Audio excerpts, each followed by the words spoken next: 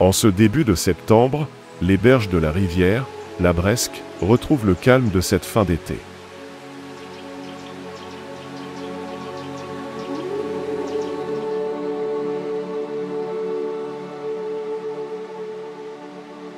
Les eaux s'étalent lentement le long de ses rives, avant le grand saut de sa célèbre cascade.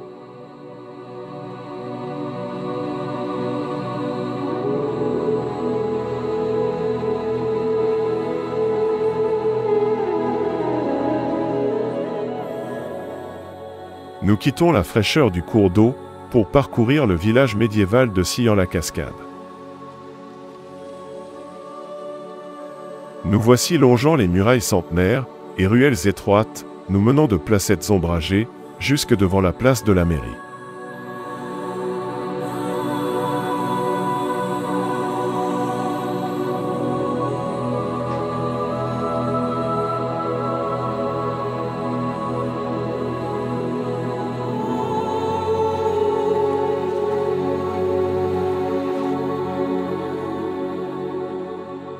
Ce petit village vit essentiellement du tourisme, grâce à sa cascade aux eaux turquoises, mais révèle réellement son âme que pour les habitants du lieu.